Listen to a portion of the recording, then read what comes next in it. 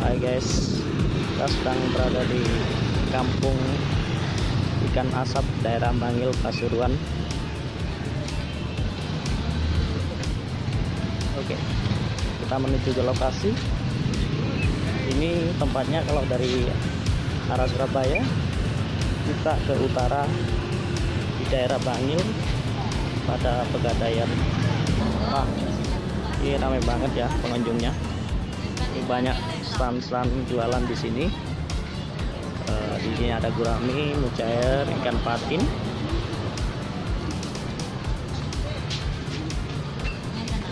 Banyak sekali. Sini Gi.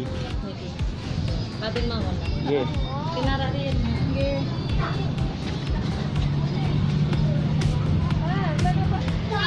Ini mujair, bandeng, patin. Oke.